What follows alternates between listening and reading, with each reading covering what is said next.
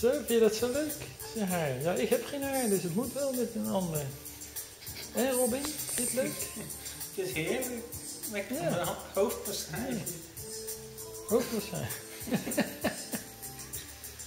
leuk. Maar ik, ik moet hem nou meenemen voor de consultatiebureau, dus ik ga hem eventjes omkleden. Lekker. Nelke?